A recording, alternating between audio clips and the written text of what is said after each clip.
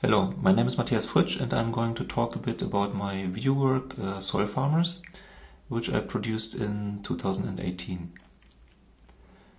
Back in this summer I was invited to an artist residency in an area that is called Prignitz, uh, which is located in Brandenburg, like maybe 100 kilometers west, northwest of Berlin.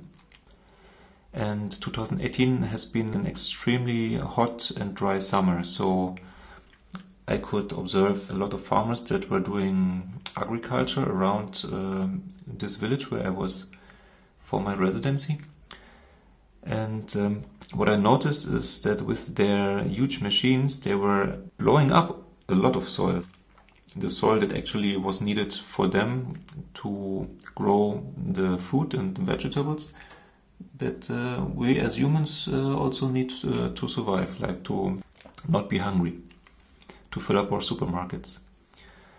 But uh, by their way of farming, they were just spoiling a lot of the topsoil that would enable us a long uh, and uh, secure future.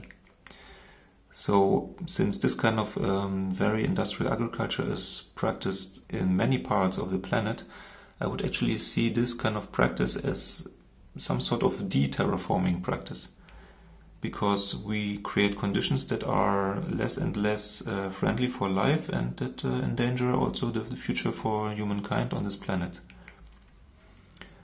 And in my eyes, a logical consequence uh, to go against this kind of de-terraforming process is like a proactive re-terraforming practice, where we again build up soil uh, and create more fertility in the top level of this planet where we can store more nutritions and more water.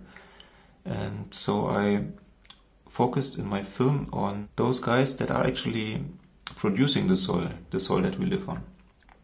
And what you see is a lot of different organisms which all belong to a very big um, circular system where the waste that is produced by, let's say, for instance, plants or uh, larger animals is broken down and decomposed in order to end up as rich and fertile humus in the top level of this planet.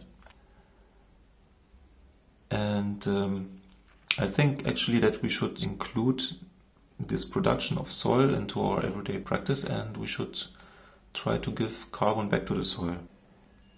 And um, to do that, we actually have to understand these organisms, how they work, what kind of conditions they need.